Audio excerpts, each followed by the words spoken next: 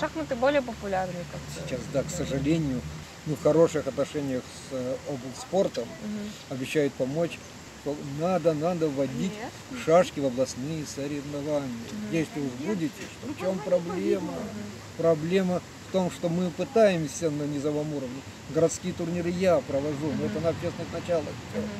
Мы за то, чтобы шашки вводили в областные соревнования, спартакиаду, вот это. И это необходимо, будет стимул, когда с других областей люди, ведь когда с других областей люди приезжают, боже мой, у них такие успехи, такие интеллектуальные школы.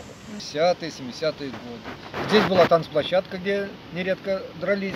Ну, собственно, это не мы. Так, здесь был теннис, вот буквально здесь рядом. Теннис? Играли теннис, волейбольная площадка, бильярд.